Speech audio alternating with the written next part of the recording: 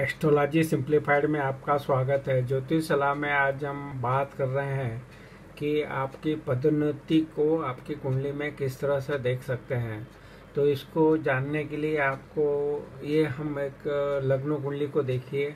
लग्न कुंडली का जो दसम भाव है, वो आपकी पदोन्नति का है।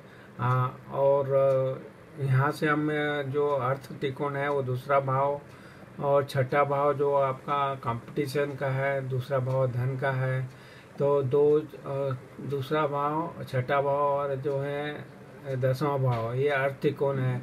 इन, इनका कॉम्बिनेशन देखना चाहिए, इनके आपकी कुंडली के अंदर जब भी दशा अंतर दशाएँ चलती है, इन भावों के स्वामी की तो ये दर्शाता है आपका जो पदोन्नति का समय दर्शाता है। तो ये इसको आप देख सकते हैं।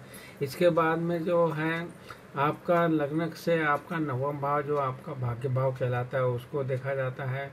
और ग्यारहवा भाव है, जो कि आपका लाभ भाव है।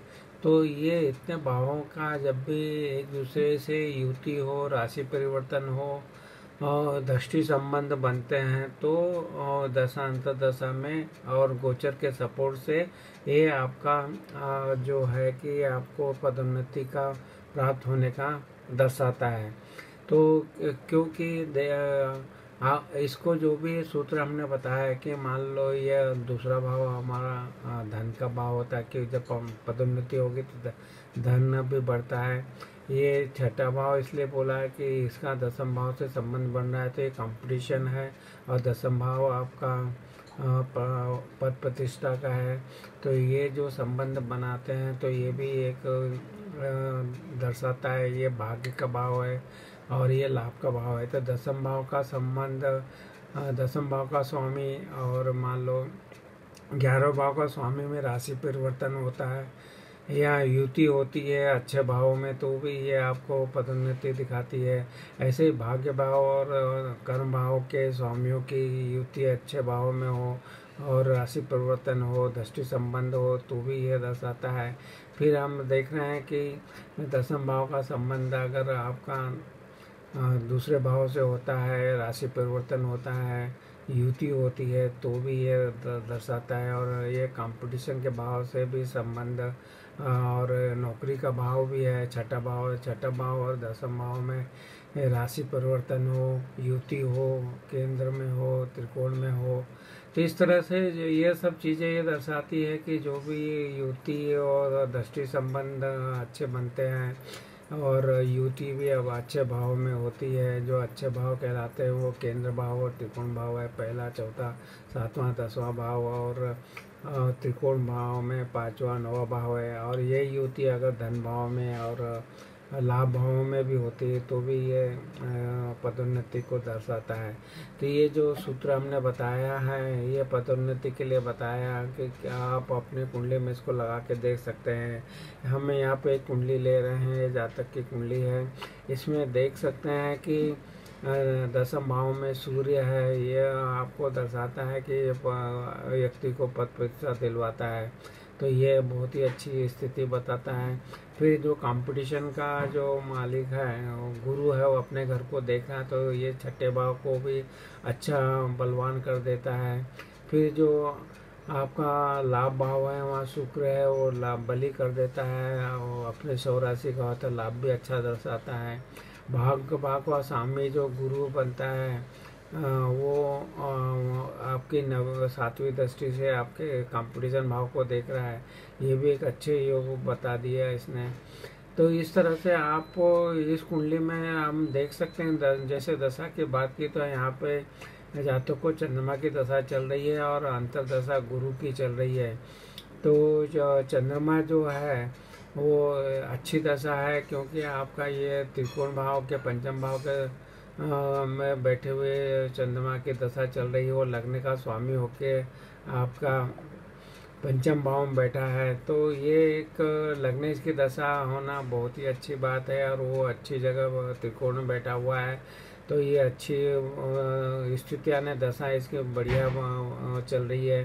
फिर देखा कि गुरु जो है तो गुरु जो हमने देखा, वो भाग्य का स्वामी होके गुरु छठम भाव कंपटीशन को देख रहा है। तो इस तरह से ये संबंध भी अच्छा बन रहा है। तो ये दर्शाता है कि जब भी चंद्रमा में गुरु की दशा, अंतरदशा आ रही है तो इस जातक को विदेश संबंधित और कंपटीशन कारण इसको जो जॉब है विदेश में प्राप्त हुआ है और हायर पोस्ट दिलाई है कि सूर्य पद प्रतिष्ठा का कारक है, वो उच्च का बैठा है तो वहाँ पे इसको अच्छी ऊँची पोस्ट पे विदेश में बेटा इसको पदोन्नति दी गई है। तो इस तरह से ये आपने यहाँ देखा कि किस तरह से आप अपनी कुंडलियों में इसको लगा के देख सकते हैं कि ये आप अपनी कुंडली में जो जो अर्थ त्रिकोण को देखिए दूसरा भाव छठा भाव और दसम भाव ये पद प्रतिष्ठा हो गई ये आपका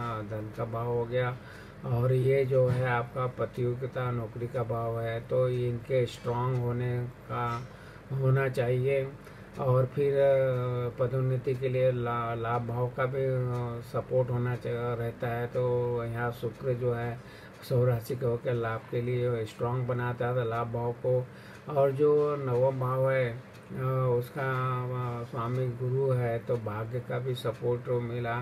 तो गुरु जो भाग्य का स्वामी होके आपके प्रतियोगिता वाले आर्थिक उनको देख रहा है, छठे भाव को, और दशा चल रही है चंद्रमा की तो इस जातक को, इस परिस्थिति में चंद्रमा की दशा में, गुरु के अंतर दशा में पदोन्नति हुई और विदेश में हुई और इस वहाँ का इस तरह से आप अपने कुंडली में इसको लगा के देख सकते हैं।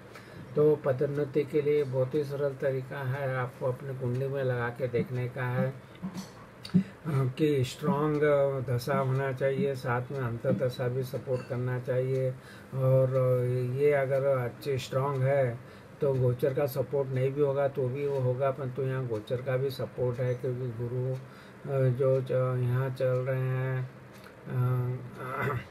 अपने सौराशि के चल रहे हैं, शनि यहाँ चल रहे हैं सौराशि के, और इनकी दृष्टि जा रही है यहाँ पे चंद्रमा के ऊपर लगने के स्वामी पे। तो ये स्ट्रॉन्ग सपोर्ट मिल गया आपको दशा अंतर दशा के साथ साथ में गोचर का भी। तो इस तरह से आप अपने कुंडलियों में लगा के देख सकते हैं कि वो पदोन्नति भी कराता है और इस तरह से सपोर्ट के कारण आप अपनी कुंडलियों में इसको ज़रूर लगा के देखें कि ऐसे योग बन रहे हैं तो आपका ज़रूर पदोन्नति होगी आपकी। तो ये सरल सा तरीका बताने का प्रयत्न किया, आपको हमारे चैनल जो एस्ट्रोलॉजी सिंप्लीफाइड पे उपलब्ध वीडियो का भी आप लाभ उठा सकते हैं।